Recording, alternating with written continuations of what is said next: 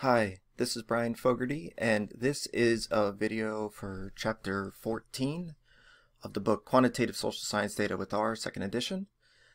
And in this video, we're going to do is briefly look at interpreting zero inflated and hurdle count models. So even though in the previous uh, videos and through the chapter, we landed on negative binomial regression model being the best model given the, the data, um, I want to take a look at how do we interpret um, the zero inflated and hurdle models, and and we already have the sort of skills, if you will, to to interpret it. It's just about putting it together. Okay, so we are going to um, use the ggpredict function, which we've used before here. Um, and we are going to do it sort of as a combination of um, the predicted uh, sort of the predicted zero or one for the inflation or the binary part, and then also for the count part. So let's start with the the zero inflated Poisson model. So we're going to do ggpredict, predict okay, and then we're going to do model.zip. Um, the only statistically significant predictor was uh, tweetdum. So we will do terms equals tweetdum. And then, right, so the ggpredict we've used before, and we need a way to differentiate which part of the model that we're looking at because it has the two parts. It has the inflation equation, it has the count part. So first let's look at the count part. Uh, we are going to include this option type equals quote zero inflated.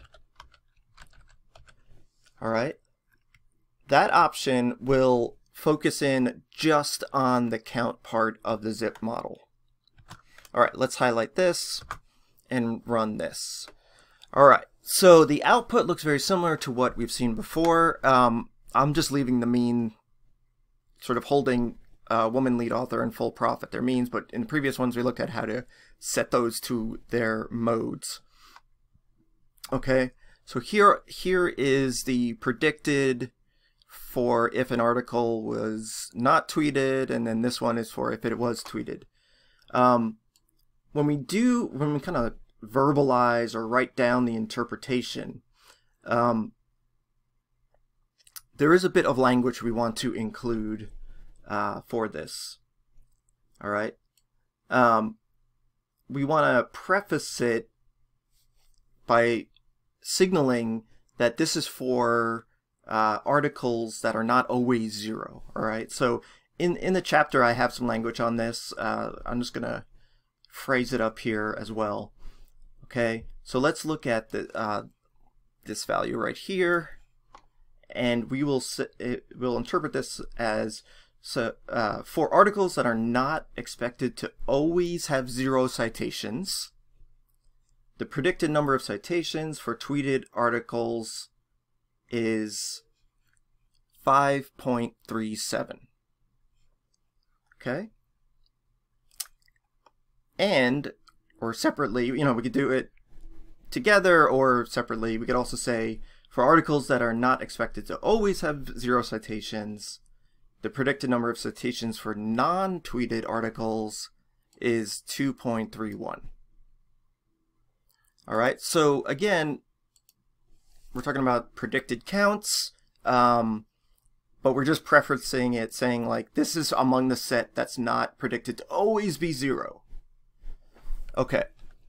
Now, if we want to interpret the um, the inflation equation, we're going to use ggpredict again. Same thing, zip, terms, tweetdum, and then for type, what we'll do is we'll use this option here, zi underscore prob. All right, zero inflation probability. Actually, I don't even know what it stands for, but that's that's what I'm guessing, right? Like it's probability. Oh yeah, that's prob. All right.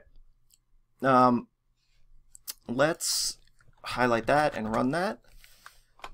Okay, so again, these are these are their their means. Um, so we have zero, we have one. Okay, now if you remember from the output in the previous video, the tweetdum coefficient was negative, right? So the idea was that the higher category is an article was tweeted. So if an article is tweeted, then they have a lower probability of always being zero which this shows this, right? So if it's if an article that's tweeted, uh, the predicted probability is, is 0.12, and if it's not tweeted, then it's 0.28. Um, again, in the chapter, I have more specific language, um, but we can interpret this to say um, uh, for for tweeted articles, the predicted probability of always having zero citations is 0.12 or 12%. And then for non-tweeted articles, the predicted probability of always having zero citations is 0.28 or 28%. Okay. Um, that's it for, for zero inflated models. Now let's look at um, let's look at the hurdle model, which is very, it's very similar. There's some sort of nuances with it though. Okay, so we're going to use ggpredict again. And we are going to here. Okay, sorry. We're going to do ggpredict model HP and then terms, and then we're not going to even include this part. Okay, because be, because because the hurdle model treats this as separate, um, we're not go we don't need to specify anything for for the um, for the count part. We'll see in, we'll see in a minute that that it's a little bit different. Um, it's a little bit different for the the um, the binary outcome part. All right, so let's let's highlight this and run this. Okay, so we see these are higher, right? So here's a predicted probability from zero inflated. This is from um, the hurdle model. Now, what is driving this is that the zero inflated count, right? If you remember, this is zero truncated. So this is the effect just among articles that have at least one citation. So these, as we might expect, the predicted values are going to be higher because it's taking out all the, all the zeros that are in the data. So um, to interpret this, we would say uh, for, for articles with at least one citation, the predicted number of citations for tweeted articles is 6.02 and for non-tweeted tweeted articles is 3.21. Okay? And then lastly, we will look at the binary part, which here we actually do need to specify it. Um, so we're going to do model HP, and then even though it's the hurdle, we're going to use this uh, option here, type equals zi prob. This will get at that binary part. So let's highlight this. Okay. How do we interpret this? So, again, this is a little bit different. So the hurdle model, if you remember, the coefficient for tweetdum was positive because this is predicting a different thing. Um, this is predicting the probability of having at least one citation, right? So the predicted probability of, of a positive count. So we could say um, for tweeted articles, the predicted probability of having at least one citation is 0.88 or 88%.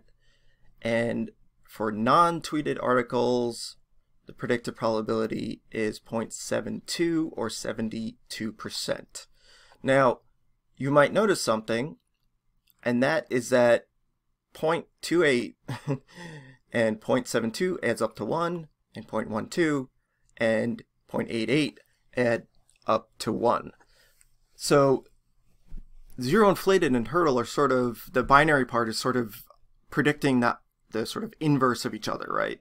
Or the reverse of each other, whatever you want to call it. But they add up to 1. Um, we don't always get results like this, but but given the data that we have and the model that we have, we saw that that essentially the zero inflated and hurdle model is do they're doing the same thing. Okay, so that is it uh, for this video. This is the last video for chapter 14. And so given that, let's knit the file. Let's knit the markdown file. I don't think there's anything that will take necessarily a long time, barring errors that might be in there, which is wouldn't be surprised. Um, we see it's running. Nothing in the code itself, but there still could be problems. We're waiting. All right, we got this spit out. We have a PDF file that will be saved in the working directory. All right, so thanks for watching and I'll see you next time.